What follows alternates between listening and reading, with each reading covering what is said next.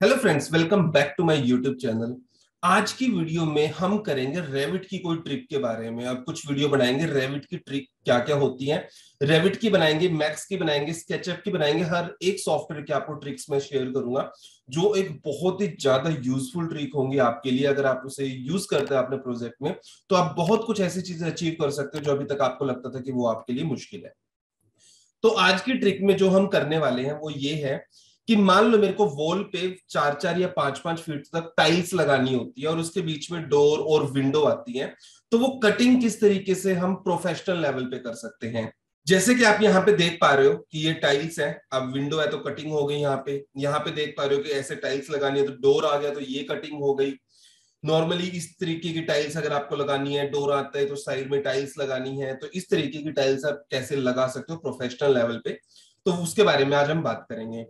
For example हमारे पास एक wall है, ये मैंने यहाँ पे एक वॉल ली। इसमें मैं यहाँ पे एक तो लगा देता हूँ ये वाला डोर ओके इसको मैं थोड़ा अंदर की तरफ़ कर देता हूँ। एक लगा देता हूँ मैं डोर लोड फैमिली से जाके। कोई भी मान लो एक्सटर्नल डोर मान लो ये वाला डोर लिया ओपन ये दोनों डोर क्यों लिए मैंने वो भी बताऊँगा आपको। ये मैंने एक डोर ये लगाया और एक लगा देता हूँ मैं विंडो यहाँ पे। तो मेरे पास यहाँ पे इस तरीके से प्रोफ़ाइल आ गया और इसको मैं यहाँ से connect to level two three और मेरे पास ये आ गया यहाँ पे इस तरीके से। क्लियर है? अब मेरे को वो टाइल्स लगानी है यहाँ पे। नॉर्मली तो हम क्या करते हैं, वरना फैमिली में जाके लगाते हैं, फिर यहाँ से कटिंग करते हैं तो एक बहुत लंबा प्रोसेस हो जाता है। और उसके बाद अगर हमें डोर की पोजीशन चेंज करनी है तो फिर उस कटिंग को भी चेंज करो। तो उससे बचने के लिए हमारे पास बेस्ट तरीका क्या है इसको करने का, वो बताते हैं। तो उसके लिए सबसे पहले मैं क्या करता हूँ, यहाँ पे दोबारा से वॉल पे जाता हूँ और एक यहाँ पे एडिट टाइप पे जाके डुप्लीकेट क्रिएट करता हूँ और यहाँ पे लिखता हूँ फिनिश वॉल फिनिश वॉल मैंने लिखा ओके और स्ट्रक्चर पे मैं एडिट करता हूँ और एडिट करके मैं इसकी थिकनेस जो ले लेता हूँ, वो ले लेता हूँ अराउंड वन इंच की। मेरे को अराउंड वन इंच की थिकनेस चाहिए। वो आप टू इंच भी ले सकते हो, वो आपके ऊपर है। तो मैंने मैंने यहाँ पे वन इंच लिया एंड ओके ओके करने के बाद दोबारा से मैं यहाँ पे इसे ओके करता हूँ।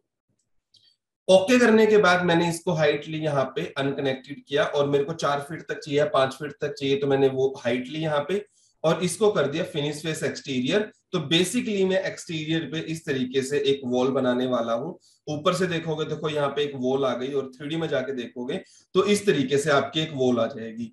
अब इस वॉल से क्या हुआ? ये वाला पार्ट आपका कटिंग में नहीं आया, या तो आप इंडिविजुअल वॉल लगाओ यहाँ पे और इस तरीके से अगर कटिंग करनी तो आपको क्या करना है यहाँ पे? इन दोनों वॉल को मैं आपस में ज्वाइन कर दूँगा, ठीक है? दोनों ही वॉल हैं तो इसको ज्वाइन करने के लिए आप मॉडिफाई पे जाओ और यहाँ पे ज्वाइन क्लिक करें और दोनों ही वॉल पे क्लिक कर दे तो दोनों ही वॉल ज्वाइन हो जाएँगे। और अब आप यहाँ पे देख सकते हैं तो ये आपका स्पेस यहाँ पे आ गया, ये आपका स्पेस आ गया और इस तरीके से आपका विंडो का स्पेस आ गया क्लियर है?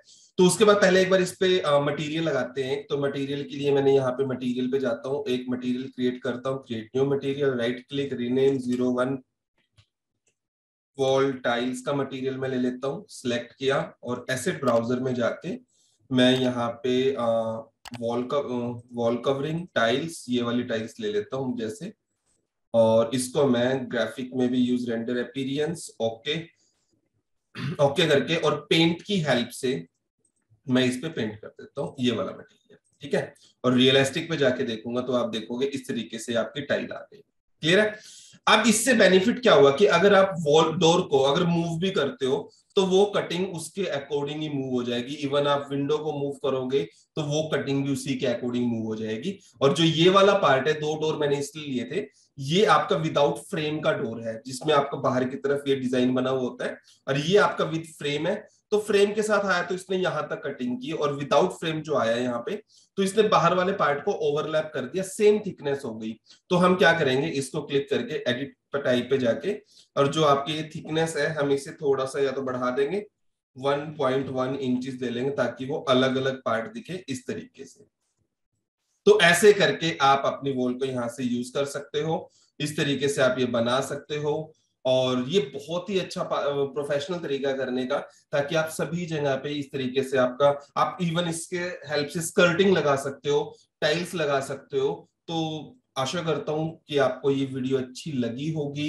समझ में आया होगा किस तरीके से ये सब चीज़ें आप कर सकते हो तो अगर वीडियो अच्छी लगी तो प्लीज़ वीडियो को लाइक करें शेयर करें और कमेंट करना बिल्कुल मत भूलें। थैंक यू सो मच दोस्तों वीडियो देखने के लिए मिलती है नेक्स्ट वीडियो में। Thank you so much